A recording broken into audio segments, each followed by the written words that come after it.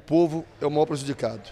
Né? Especialistas apontam que o, que o que falta hoje, por parte do governo do Estado, é investimento. Então nós vimos aí a CEMIG com 4 bilhões de lucro líquido no anual, a Copasa com quase 1 bilhão, e que esse recurso, que se esse recurso for investido em mais serviços, em mais qualidade de atendimento, com certeza o povo vai ganhar.